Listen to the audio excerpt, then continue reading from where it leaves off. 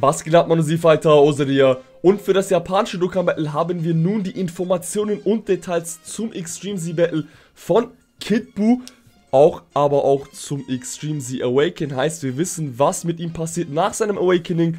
Nämlich mit der Passive etc. Das werden wir uns gleich im Anschluss ansehen. Zudem gibt es aber einen weiteren Charakter, der einen Extreme Z Awaken bekommt. Nämlich der Strength Super Saiyan 3 Goku durch die Medaillen vom Super Saiyan 3 AGL Goku Extreme Z Battle. Wie das Ganze funktionieren wird, werden wir uns gleich ansehen. Außen vorweg aber, das Extreme Z Battle für das japanische Battle kommt morgen online. Morgen um 10 Uhr unserer Zeit, 10 Uhr morgens. Wir werden das Ganze morgen um 20 Uhr abends auf Twitch streamen. Wenn ihr Zeit und Lust habt, schaut auf jeden Fall vorbei im Extreme Z Battle von Kidbu, unserem Boy. Alle Informationen dazu sind in der Stream-Beschreibung, also in der Beschreibung im Video. unter Video, wenn ihr runterscrollt. ihr wisst Bescheid. Alles klar, okay, wir bekommen das Extreme wie gesagt, morgen mit einem Extreme Z Dokkan Festival Banner. Wird ähnlich verlaufen wie das, was auf Global erschienen ist mit Freezer. Unterschied, auf JP gibt es keine Tickets, weil es kein Pilas Trophy gibt. Außerhalb davon wird ein Kategoriebanner kommen, der Pure Saiyans. Warum?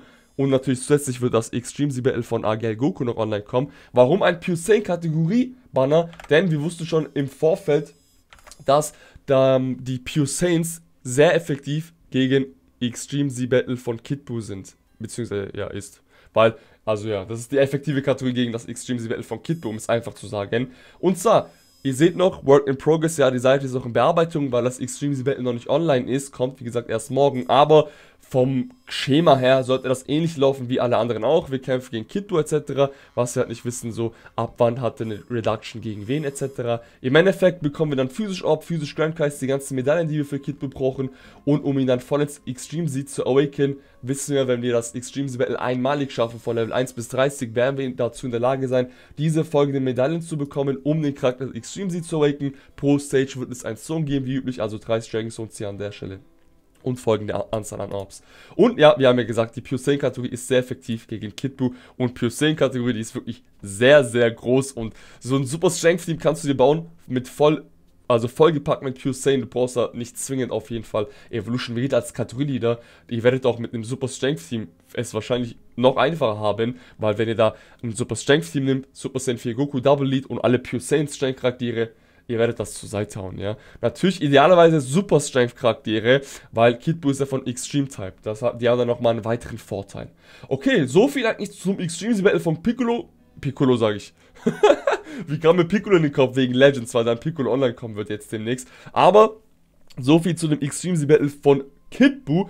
Heißt, wir gucken mal an, was denn noch hinzukam, weil wir haben ja gesehen, wir haben das Extreme Z Battle von Kid Buu mit seinem Extreme Z Awaken. Wir werden uns jetzt gleich anschauen, was denn danach mit ihm passiert, was passiert denn, was ändert sich bei ihm. Aber wir bekommen auch das Extreme Z Awaken zu diesem Goku. Fangen wir mal an mit der Passive-Änderung von Kid Buu. Hier natürlich Shoutout an Gaming with Talent und an der Stelle an Mai. Und zwar ändert sich folgendes, Freunde. Wenn wir Kid Buu dann voll ins Extreme Z Awaken, gibt er folgendes. Wenn die HP 80% oder drüber sind, gibt er jedem Key plus 2 und 50% auf Attack und Death. Wenn die HP 79% oder drunter sind, gibt er jedem Verbündeten Attack und Death 30%. Wie sah seine Passive davor aus? Folgendermaßen, wenn die HP 80% oder drüber sind, sind das Attack und Death 50% für jeden. Heißt, wir haben hier Key plus 2 bekommen, wenn die HP 80 und drüber sind und haben noch einen Zusatz bekommen, wenn sie 79 und drunter sind. Was halte ich davon, als ihr mich die Tage gefragt habt, die letzten Tage, wie denke ich mir, könnte ich das aussehen, wollte ich, beziehungsweise wollten wir auf jeden Fall, dass der Key bekommt. Hat er zum Glück bekommen, sind Key plus 2, man kann sich streiten, vielleicht will der ein oder andere Key plus 3, aber sind Key plus 2, ist auf jeden Fall auch solide. Und ich wollte, dass die, sie die Beschränkung setzen, heißt, dass es zum Beispiel den Boost gibt, wenn die HP 50% und drüber sind, diesen 50% Attack und Death Boost. Dazu kam, ich, kam es nicht, aber so wie er jetzt wurde, so wie seine Passive quasi wird durch das Extreme Zero Awaken, bin ich zufrieden, denn, denn das ist balanciert, das ist balanced, finde ich, meiner Meinung nach. Wenn ich jetzt so im Nachhinein überle da überlege, würde die Passive folgendermaßen aussehen, dass er Key plus 2 geben würde, Attack und 50% für jeden, wenn die HP 50 und drüber sind das war schon viel. Das wäre schon viel, weil 50% für jeden und dann noch Key, das ist übertrieben viel, Freunde. ja, da würde, der würde quasi Thales überrennen, weil Thales gibt ja Ki plus 3 und 40% auf Angriff nur für jeden. Aber deswegen finde ich also an der Stelle balanciert, dass sie noch einen weiteren Boost, beziehungsweise, beziehungsweise das Kit Buu noch einen weiteren Boost gibt, falls die HP 79% und drunter sind. Ich bin auf jeden Fall mit der Passive zufrieden, was sie daraus gemacht haben. Ich finde es wirklich balanced. Man wird ihn auf jeden Fall gut und in vielen Teams nutzen, in denen er vertreten ist als Supporter. Was hattet ihr davon? Lasst mich auf jeden Fall in den Kommentaren wissen. Schauen wir uns aber mal an, was hat sich denn zum Strength Super Saiyan 3 Goku geändert? Und zwar folgendes, Freunde. Wie gesagt, wir werden die Medaillen brauchen, welche genau gucken wir uns gleich an, vom AGL Extreme Z Battle. Folgendes ändert sich. Leader Skill, oh by the way, Leader Skill vom ähm, Kid Buu ist folgendermaßen.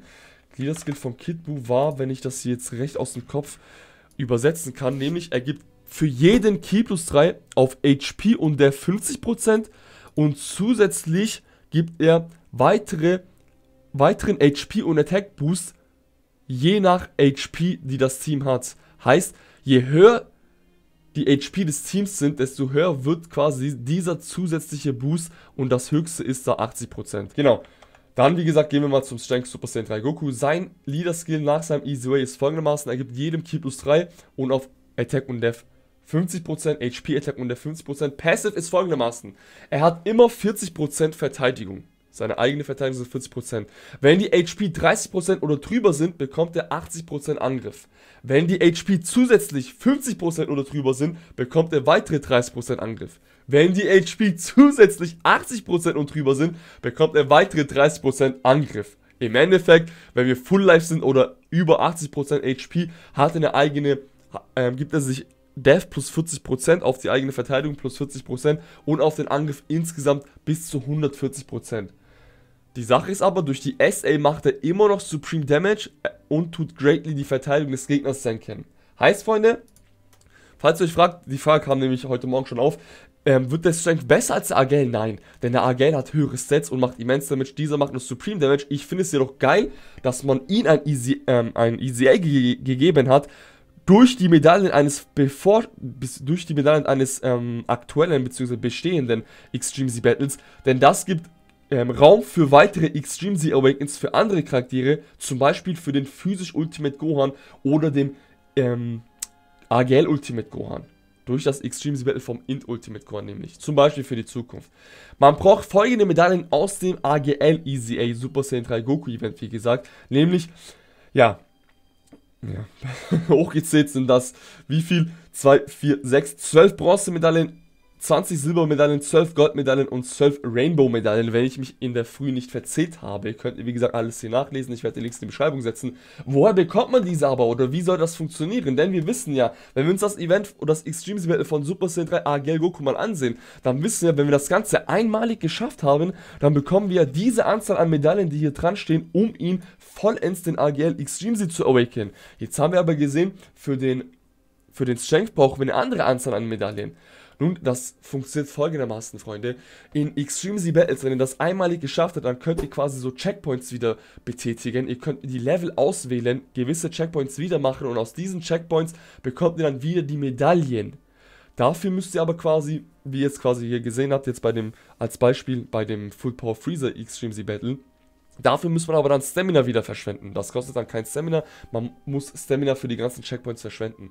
Aber wir brauchen dann im Endeffekt für den Strength nicht diese volle Anzahl, sondern wir haben gesehen, zum Beispiel von den Rainbow brauchen wir nur 12. Und wenn wir mal gucken, wie viel Medaillen droppen denn vom Checkpoint Level 30, vom, ähm, ja, wenn wir den Checkpoint wieder machen und 25 Stamina verbrauchen, wie es hier dran steht, nämlich 4. Also wenn, wir das, wenn ihr das dann dreimal macht, habt ihr die ganzen 12 Rainbow-Medaillen zumindest. Und wir haben ja gesehen, wie viel wir genau brauchen. Also den Strength Extreme zu halten, braucht man auf jeden Fall weniger Medaillen. Man muss quasi diese Checkpoints wieder machen. Und man muss natürlich das ganze Extreme Battle mal komplett geschafft haben auf Level 30. Weil wenn ihr Level 30 nicht geschafft, hat, geschafft habt, dann könnt ihr Level 30 nicht, nicht wieder machen. Ihr müsst das einmalig geschafft haben gilt auch für die anderen Stages, damit ihr das Ganze wieder machen könnt. Außerhalb davon eben, wie gesagt, den zu Extreme Awaken ist in Anführungsstrichen leichter, weil ihr bei denen hier vor allem die leichteren Events macht und da droppen immer gute Anzahl an Medaillen. Also man bekommt schneller die Medaillen. Man muss jedoch Stamina ausgeben, aber das hat ja, das hat ja keine Eile und ja, Stones und so bekommt man nicht wieder, weil man das schon mal geschafft hat. Man kann quasi nur die Medaillen farmen. Anyway, Freunde, so viel zu dem Extreme Z Battle, Extreme Z Awakening, zu allen Infos und Details zu unserem Boy Physisch Kid Buu und erstaunlicherweise, überraschenderweise Strength Super Saiyan 3 Goku. Lasst mich wissen, was ihr davon haltet. Ich finde das wirklich sehr cool, weil ich finde, das gibt, wie gesagt, Raum für weitere Extreme Z Awakens von anderen Charakteren, die denselben Namen haben, wie beispielsweise, fiel mir spontanerweise ein, ähm, ja, Physisch Ultimate Gorn, AGL Ultimate Gorn oder je nachdem auch Incel etc. etc. Lasst mich, wie gesagt, wissen, was ihr zu dem Ganzen haltet. Wenn euch das Ganze gefallen hat, lasst auf jeden Fall auch ein Like da. Und danke fürs Zusehen und wir sehen uns auf jeden Fall das nächste Mal. Peace. When I pull up at your girl, mommy wanna be my world. You a man, bro, don't you cry. I'ma get her back after I'm done, I'm done. Next time you ain't won't be alright.